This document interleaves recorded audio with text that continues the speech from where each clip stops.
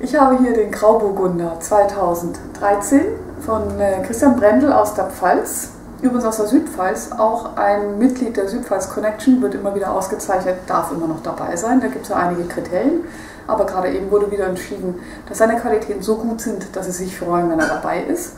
Jetzt geht es um den Grauburgunder 2013. Das müsste ein schön bekömmlicher, guter Weißwein sein.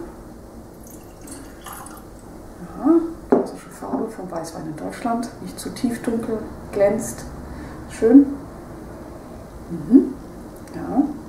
So eine leichte weiße Frucht, eine weiße reife Frucht.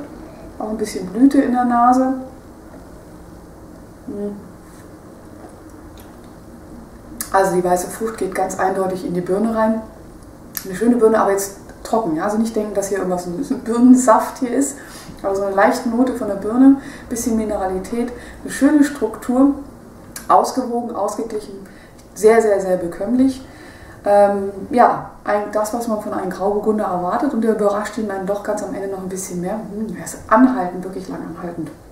Kann ich nur empfehlen, den Grauburgunder von Christian Brendel aus der Pfalz.